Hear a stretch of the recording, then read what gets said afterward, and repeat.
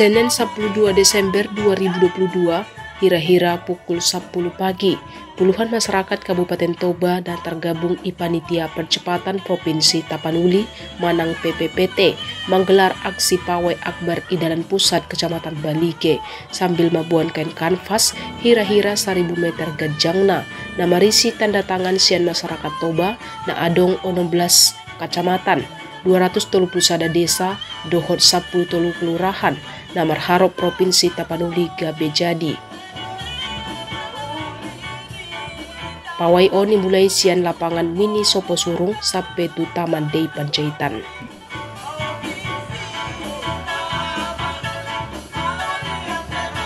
Aksi pawayon ima aksi dukungan sian pembentukan Provinsi Tapanuli na ibain pertama sehali i Kabupaten Toba.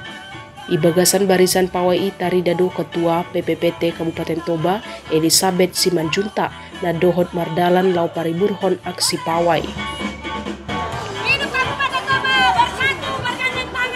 Pawai na na sada kilometer lobi marlangsung hira-hira dua jom jalaman dapat pengamanan langsung sian pihak kepolisian Polres Toba. Di lokasi acara puncak Itaman Day Panjaitan tari dadu tokoh masyarakat Hawe Hutahayan dohot Parsinon Dukna na dohot do madukung asa terwujud Provinsi Tapanuli. Ibana majalo tu sudah masyarakat asa madukung tu terwujudna Provinsi Tapanuli.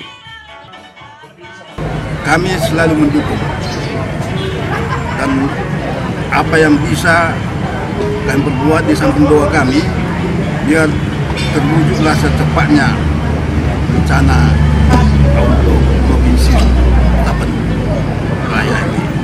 Di samping itu juga kami kami harapkan supaya kesatuan dan persatuan kita orang Tapan ini yang mau membentuk satu provinsi ini biarlah bersatu tinggal kena rasa pribadi lupakan pribadi itu tapi kesatuan dan persatuan inilah yang kita karena dengan kesatuan ini kita yakin pemerintah akan secepatnya akan menyetujui.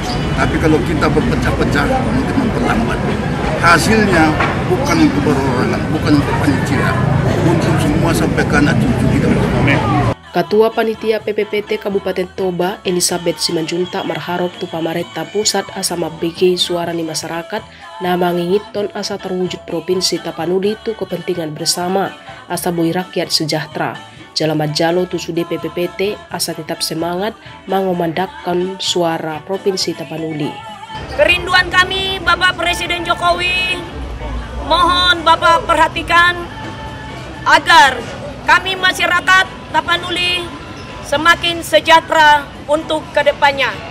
Untuk itu saya pribadi menyampaikan kepada seluruh lapisan masyarakat yang ada di Kabupaten Toba mengucapkan terima kasih yang sebesar-besarnya.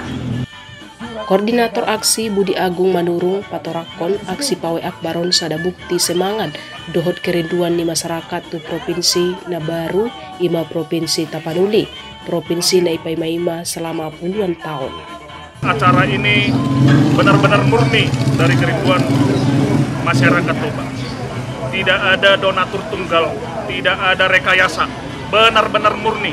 Jadi masyarakat bergotong royong membiayai kegiatan ini hanya karena didasari oleh kerinduan Provinsi Tapanuli bisa terwujud. Rentang kendali pemerintahan yang semakin dekat dengan rakyat. Ini sudah puluhan tahun menjadi kerinduan masyarakat Tapanuli. Kami sangat berharap di era pemerintahan Bapak Insinyur Haji Joko Widodo, presiden yang kami cintai, kami hormati, dan kami banggakan, yang dekat dengan rakyatnya. Di era pemerintahan Bapak tersebut, eh, Provinsi Tapanuli ini bisa terwujud dengan baik.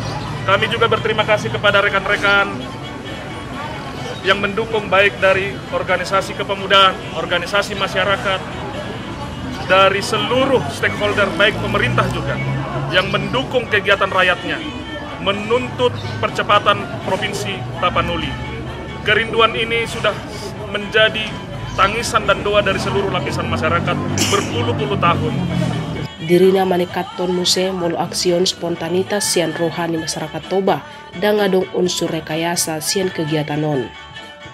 Sapesonari tu rencana pembentukan Provinsi Tapanuli na terdiri sian sada kota Madia do lima kabupaten, lima kota Madia Sibolga, Kabupaten Tapanuli Tengah, Kabupaten Tapanuli Utara, Kabupaten Toba, Kabupaten Humbang Hasundutan Dohot Kabupaten Samosir.